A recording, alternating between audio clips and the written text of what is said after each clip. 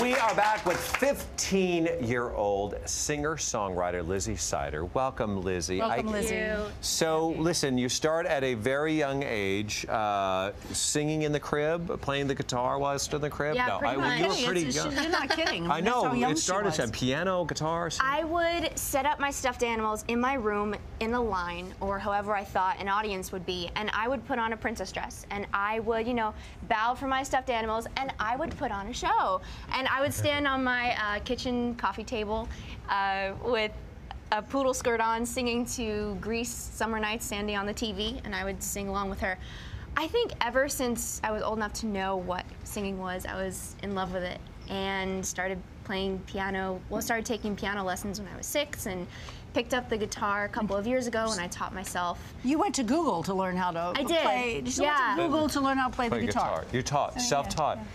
Was it that spirit, Lizzie, that sort of outgoing personality you had that came around in elementary school that sort of had you face tough times? Well, uh, when I was in elementary school, I was teased by the other kids in my grade. And I would From what though? Why I would they mean, you're, tease you? Well- they're- you're I, I don't really know, but I think it was because I was musical. I would always sing on the playground, and they would come up to me, and when they would ask me to sing for them, they would laugh at me and run away.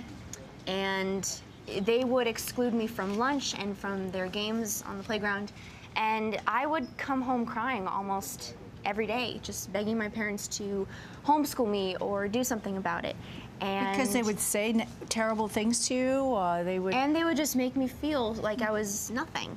And I never had a problem with being myself outside of school, but in school I always felt shy, and I always felt, you know, like I couldn't be myself. Mm-hmm. And one day my dad told me, before I left for school, that nobody has the power to ruin your day. And at first, I really didn't understand what he meant by that. But Right. after a while, I got it. And I realized that nobody has the power to knock me down. And I felt freedom like a butterfly. Oh, and you wrote a that's song. where that's the where the song song comes comes from. from. about it, Wrote a song named Butterfly. Lighter, right? yeah, re- reflecting upon life's Right. experiences for you. Where does the country come from then? Right, 'cause you live in you're- Florida, so yeah. That's that- right. Yeah. How can I be country from South Florida? Yeah. Well, every summer since I was two months old, my parents and I have been going to Jackson Hole, Wyoming, and it is so small town America out there. It's in the middle of nowhere, eh, but it means so much to me. And every night in the kitchen, my dad would play old country artists like Patsy Cline and Loretta Lynn and Gene Autry, Willie Nelson, you name it. And even fell in love with it, right? I, Yeah. I fell in love with it, and I really grew up listening to those artists and to those songs. And I think just from a very young age, country soaked into my soul. Well, uh, we would love to hear you play one of the original. You guys want to hear her sing a little Yeah, bit? I love to- Play a little guitar. I would love to play Butterfly. This is Butterfly. Wonderful. All right. Lizzie Sider, everybody.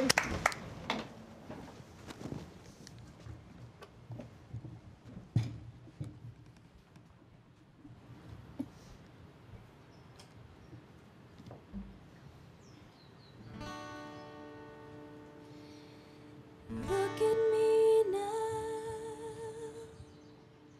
Look at me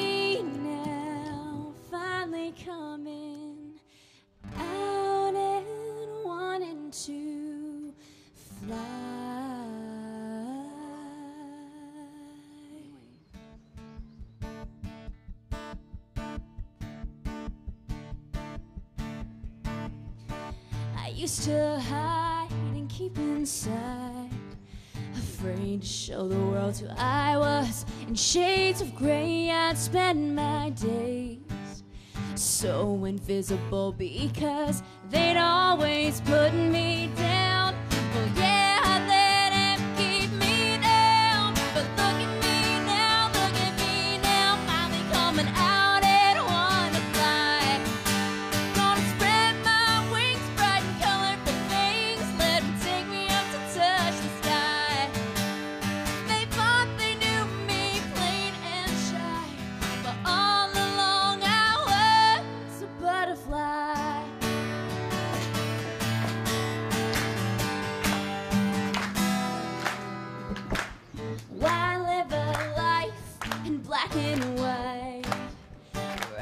up in a safe little space. It's only fear that kept me here. With dreams too big for the small place, they liked me deaf and dumb. Had no idea.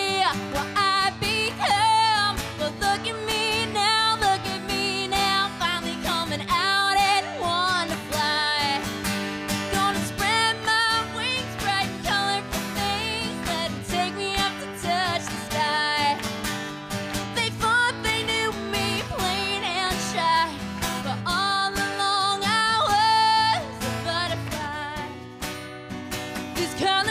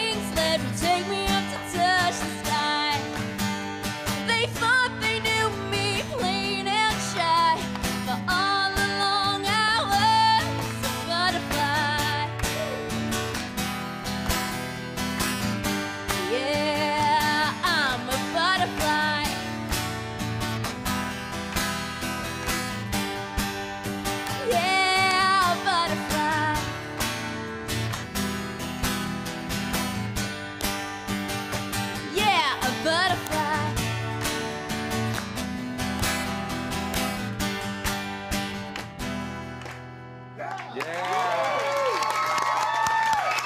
Great job. Good song.